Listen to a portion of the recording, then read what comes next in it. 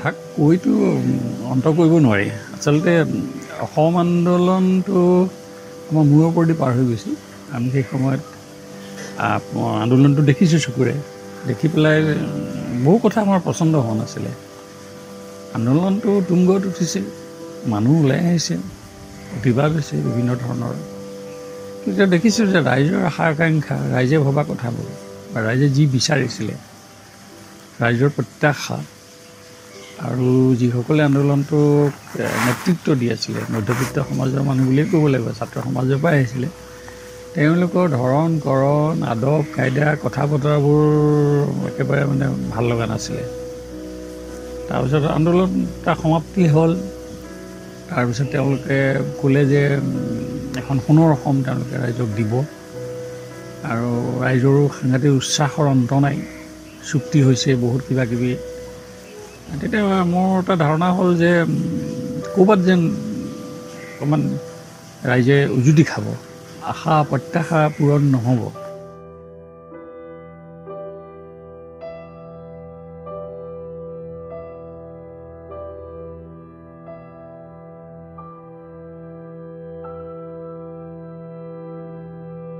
তেতিয়া ভাবিলোঁ যে মনৰ কথাবোৰ কোৱাই ভাল।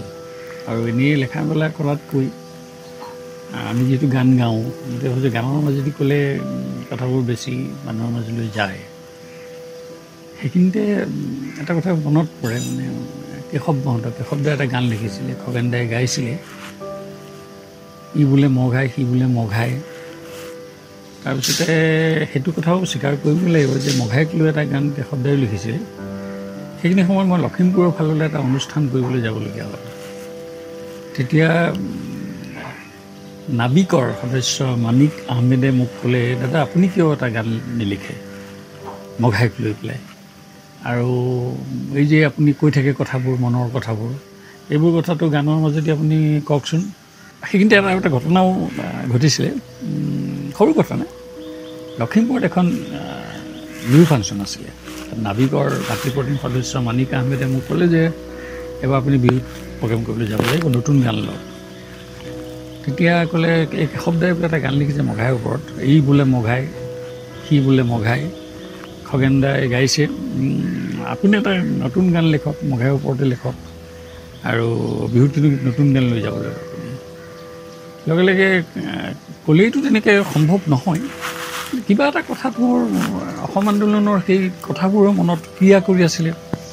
নতুন গান এটাও বিহু বতৰ লাগে। আগতে আমি বিহু চিহু আহিলে তেনেকুৱা অনুষ্ঠানত সদায় নতুন গান এটা লৈ যাবলৈ আমি চেষ্টা কৰোঁ। ঘপকৈ এটা মনত আহি গ'ল যে মঘাই বোলে ঢোলৰ মাত ধুনীয়াকৈ ধিন্দাওঁ সোণৰ অসম নালাগে মোক মাটিৰে সজাওঁ। কাৰণ সেই সময়ত গণ পৰিষদৰ নেতৃত্বই যেতিয়া ৰাজনৈতিক দা দায়িত্ব ল'বলৈ আৰম্ভ কৰিছে নতুন দল গঠন হৈছে তেওঁলোকে ৰাইজক মানে প্ৰতিশ্ৰুতি দিছে ষ্টেডিয়ামত মুকলি খেলপথাৰত তেওঁলোকে শপত গ্ৰহণ কৰিছে এখন সোণৰ অসম ৰাইজৰ হাতত অৰ্পণ কৰিব। গতিকে মোৰ মনত হ'ল যে সোণৰ অসম নহ'ব। গতিকে কথাটো কৈ দিয়াই ভাল। গতিকে মই লিখি দিলোঁ যে মঘাই বোলে ঢোলৰ মাত ধিনিকি দিন্দাওঁ সোণৰ অসম নেলাগে মোক মাটিৰে সজাওঁ তেতিয়া মই লাহে লাহে ভাবিলোঁ কথাবোৰ কোৱা ভাল যে ৰাভাই বোলে মুখৰ কথাত নহয় প্ৰগতি এই মুখেৰে ক'লেতো নহ'ব প্ৰগতি নাথাকিলে নিষ্ঠা আৰু আদৰ্শ মতি। আমি বিষ্ণুভাগ লগ পোৱা মানুহ। মঘাই পূজাক লৈ গানটো লিখাটো মোটামুটি ভাবিলোঁ। আৰু এইটোত আহি গ'ল মনলৈ। সোণৰ অসম নালাগে মোক মঠিৰে সজাম এই কথাটো মই স্পষ্টভাৱে পোৱা উচিত হ'ব। কিন্তু সেই কথাটো শেষ কথা হ'ব নোৱাৰে তাৰ লগতো আৰু কথা বতৰা আহিব নিশ্চয়। তাৰপিছত মই দেখিলোঁ যে মানুহবিলাকৰ আন্দোলন কৰিছে ঠিকে আছে। কিন্তু আমিতো বিষ্ণুৰাভাহঁতক লগ পোৱা মানুহ হেমাংগদাহঁতক লগ পাইছোঁ। আই আন্দোলনৰ সময়ত ভূপেন দাহঁতৰ স্থিতিও আমি গম পাওঁ।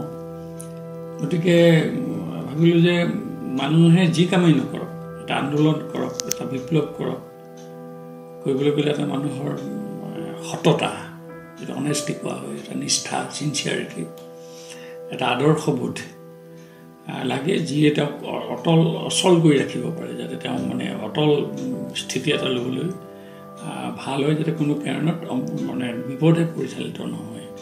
গতিকে ৰাভাই বোলে মুখৰ কথাত নহয় প্ৰগতি নাথাকিলে নিষ্ঠা আৰু আদৰ্শমতি আদৰ্শ মতি মানে এটা চিন্তা। সেই এটা আহিলে। তাৰপিছত আমি যদি জ্যোতিপ্ৰসাদৰ কথা কৈছোঁ যে নতুন সৃষ্টি লাগে সদায় ভাবিকালৰ সংস্কৃতিৰ কথা কৈছিলে আমি সদায় আন্দোলন তান্দোলনবিলাক দেখা যায় যে অকল জ্যোতিপ্ৰসাদৰ বা বিষ্ণুৰ পৰা গানকেইটা লৈ আমি আন্দোলন কৰোঁ। বা আমি নতুন কোনো সৃষ্টি এটা কেতিয়া আমাৰ মনলৈ নাহে কিন্তু স্বাধীনতা আন্দোলনৰ সময়ত জ্যোতিপ্ৰসাদে দেখিলোঁ তেওঁ ইউৰোপত আছে বাহিৰত আছে তেতিয়াওতো নতুন নতুন গান সৃষ্টি কৰিছে নতুন নতুন তেওঁ ধ্যান ধাৰণা লৈ আহিছে আনকি সেইখিনি সময়ত তেওঁ চিনেমা কৰিছে যিটো এটা নোহোৱা নপজা ঘটনা বিষ্ণুৰাভাই আন্দোলন কৰিছে সংগ্ৰাম কৰিছে হাতৰ ষ্টেণ্ডাৰ্ড লৈছে কিন্তু তেওঁ কলম আৰু গান দুয়োটা গান জি এন গান গতিকে গান তেওঁ ব্যৱহাৰ কৰিছে। তাতে কৈছিলোঁ যে নাথাকিলে কৈছিলোঁ যে ভাবিকালৰ সমাজে লাগে নতুন সৃষ্টি। নৌ ক্ৰিয়েশ্যন নৌ কালচাৰ নৌ ক্ৰিয়েশ্যন নৌ কালচাৰ ক্ৰিয়েশ্যন সেইটো কথা আনিছোঁ।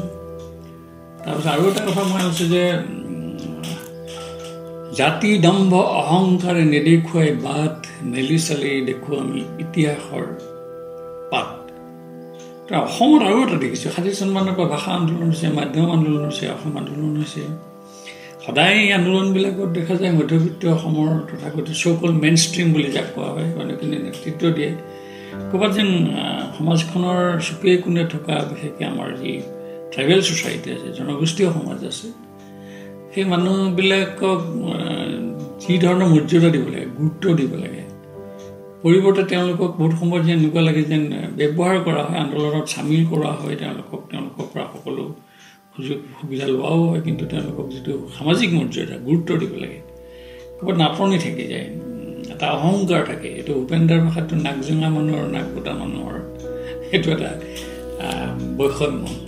নাক জোঙা মানুহবিলাক অহংকাৰ কৰে আৰু নাক গোটা মানুহবিলাকক তেওঁলোকক প্ৰথম শ্ৰেণীৰ নাগৰিক হিচাপে যেন গণ্য নকৰে তেতিয়া কৈছিলোঁ যে জাতি দম্ভ অহংকাৰে নেদেখুৱাই বাট মেলি চালেই দেখোঁ আমি ইতিহাসৰ পাত এইটো ইতিহাস। আমি পোৱা ইতিহাসখিনি আগৰখিনি মই নাযাওঁ শেষত কৈছোঁ যে অসমৰ সমাজ জীৱনৰ কথা যি ভাবিবলগীয়া হয় আমি এটা কথাত আমি কোনো কাৰণে আমি আপোচ কৰিব নোৱাৰোঁ যে অসমখন মূলতঃ জনগোষ্ঠীয় সমাজৰ যিটো ভেটি সেইটোৰ ওপৰতে প্ৰতিষ্ঠিত। সেইকাৰণে কৈছোঁ যে ৰংপি ৰাভা বসুমতাৰী তাঁতী কুৰ্মী কোনোবা আলি হুছেইন সোণোৱাল মৰাণ মটক বিভিন্ন মানুহৰ সমাৱেশতেই আচলতে আমাৰ সমাজখন এখন এখন কি বুলি কোৱা হয় এখন মানে কম্প'জিট ছ'চাইটি উঠে কম্প'জিট কালচাৰ কম্প'জিট ছ'চাইটি উঠে কম্প'জিট কালচাৰ যিটো সংমিশ্ৰিত প্ৰক্ৰিয়া আমাৰ সমাজত চলি আছে। সেইকাৰণে ক'লোঁ যে ৰং পিৰা ভা বসুমতাৰী নহয় ঘিন পাৱাৰ আপোন মনে সজাওঁ যদি আপোন এখন ঘৰ। যদি আমি ৰং পি ৰাভা বসুমতাৰী তাঁতী দলে কুৰ্মী আলি হুছেইন এই সমস্ত মানুহক মৰাণ মটক সোণোৱাল সকলোকে যদি ঐক্যবদ্ধ কৰি আমি আন্তৰিকতাৰে ডিপ্ল'মেটিকেলি নহয় বহুত সময় দেখা যায় ডিপ্ল'মেটিক আমি ভাবোঁ চিনচিয়াৰলি অনেষ্টলি আৰু মানে ইন ট্ৰু চেঞ্চ বাস্তৱ ক্ষেত্ৰত মানুহৰ বিশ্বাস আৰু আস্থা লৈ কৰিব লাগিব। গতিকে এই কথাবোৰ গানটোত আনিলোঁ। আৰু সেইকাৰণে বৰ্তমান প্ৰথম বছৰ গানটো মানুহে যিসকলে আমাৰ চিন্তাৰ বিপৰীত স্থিতিত আছে। তেওঁলোকে গানটো গ্ৰহণ কৰিব খোজা নাছিলে। আৰু অকণমান বিৰোধো কৰিছিলে। আমাক বিভিন্ন ধৰণে সমালোচনাও কৰিছিলে। ক'ৰবাত ক'ৰবাত গীতমান গাবলৈ যাওঁতে তেওঁলোকে ষ্টেজত উঠাৰ পৰা বাৰণ কৰিবৰ চেষ্টাও কৰিছিল কিন্তু আমি শেষত দেখিলোঁ আমাৰ গানটো মানুহে গ্ৰহণ কৰিলে। এতিয়াও ৰাস্তাই ঘাটে ৱালিং কোৱা যিটো কোৱা হয় দেৱাল লিখন ৰং পিৰাভা বসুমতাৰী নহয় ভিন পৰ। আপোন মনে সজাওঁ যদি আপোন এখন ঘৰ। মঘাই বোলে ঢোলৰ মাত ধেনিকে ধিন্দাও সোণৰ অসম বেলাগে গুণ মাটিৰে সজাওঁ। জাতিৰম্ভ অহংকাৰে নেদেখুৱাই বাট মেলি চালি দেখুৱাম এতিয়া। পাত এইবোৰ কিন্তু এতিয়া দেৱাল লিখন হৈ গৈছে এইটো এটা আনন্দ মানে গানটোৰ সাৰ্থকতা বুলি ভাবোঁ।